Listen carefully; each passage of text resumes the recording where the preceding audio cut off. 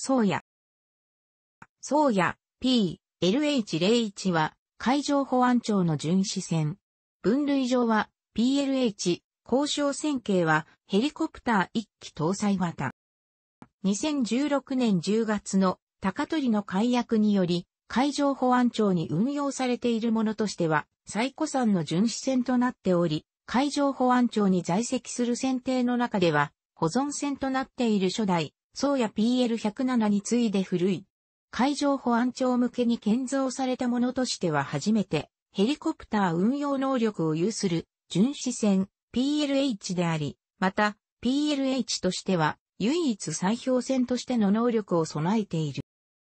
昭和50年代、海上保安庁では PL107、宗谷の代替建造が求められるようになっていた。同船は南極観測任務に充当されていた際には、ヘリコプター甲板を設置して、ベル47やシコルスキー S-58 の運用を行っていたものの、第一管区海上保安本部に配属されて、以降はヘリコプターの運用は行っていなかった。このこともあり、当初は台船としては1000トン型が想定されていた。しかし、南極観測任務において確認されたヘリコプターによる広域監視、高速進出能力は200海里の排他的経済水域など深海洋秩序時代を迎えつつある海保の警備救難能力にとって大いに貢献するものと考えられたことからヘリコプター搭載巡視船が構想されるようになった。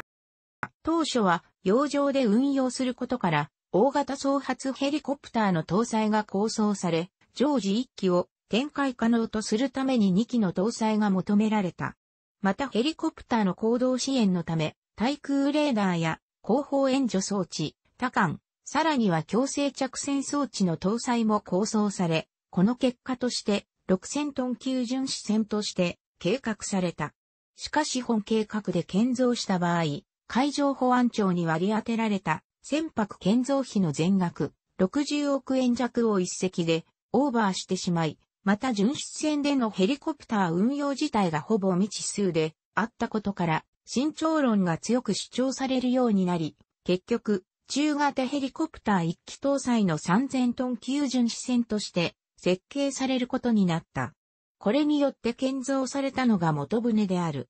1976年8月、2年計画として予算要求が行われ、昭和52年度計画において建造が認可された。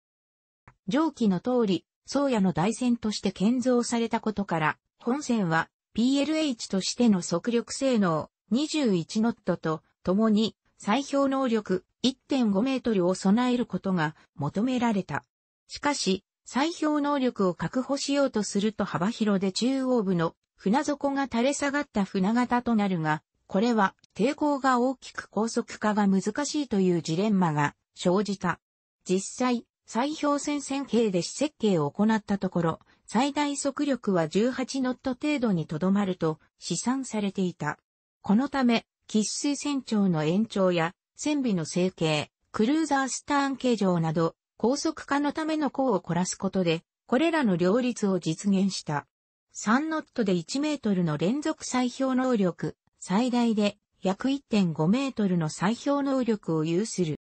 主機関としては、セムットピルスティック 12PC2 から 5V400 ディーゼルエンジンを日本交換がライセンス生産して搭載した。2機の主機関で両舷それぞれ1軸ずつの推進機を駆動しており、出力は定格 8000bhp、乗用 6630bhp、回転数 520rpm であった。また電源としては 520kW の主発電機2機と 120kW の発電機を1機搭載して、合計出力 1160kW を確保した。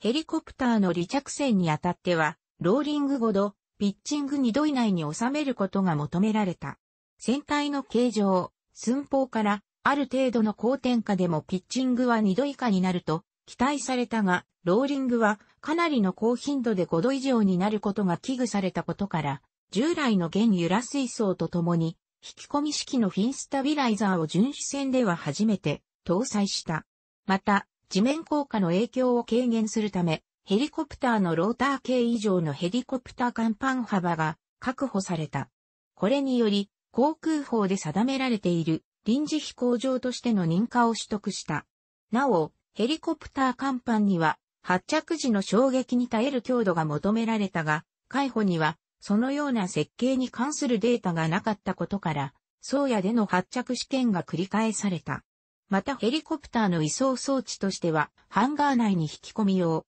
船尾甲板に引き出し用ウインチを設置したが、ウインチとヘリコプターの間のロープが長くなり、横流れしやすいために、人力で制動する必要があるという問題があった。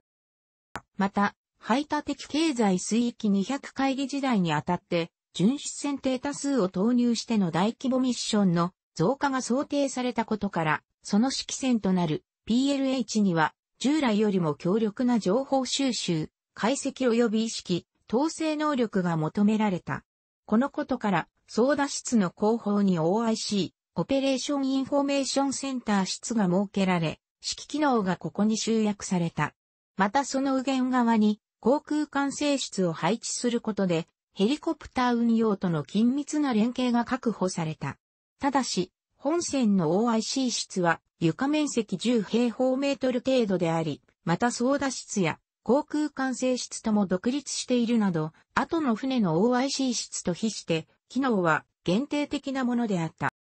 並走としては、当初ボホース60口径 40mm 機銃とエリコン 20mm 機銃を船体前方に各一門、単装マウントに配して搭載していたが、後に 20mm 単装機銃は撤去された。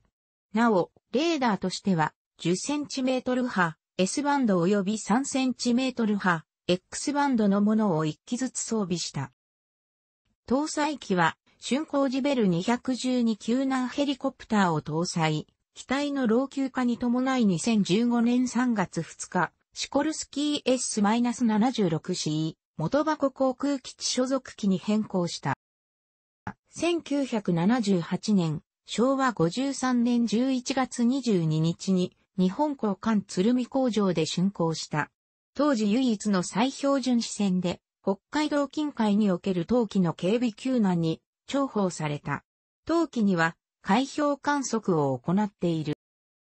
本線の設計は同じくヘリコプター搭載巡視船で、ある津軽型巡視船のベースになった。25年の耐用年数を過ぎた後も第一管区、海上保安本部の機関船であり続け、堅牢に作られた船体、機関等については、まだまだ第一線での任務に耐えると判断されたが、装備の陳腐化が進んでいたため、海上保安庁が建造した大型巡視船としては、初めて2009年、平成21年度予算で15年、程度延命させるための改修工事の予算が計上された。これによって OIC を拡大して通信室と統合、船テレシステム、船陸間のデータ転送システム搭載や、ヘリコプター移送装置を新鋭、PLH と同じレール、台車式に変更するなどの改修が行われ、2010年に改修を終了し任務に復帰した。改修費は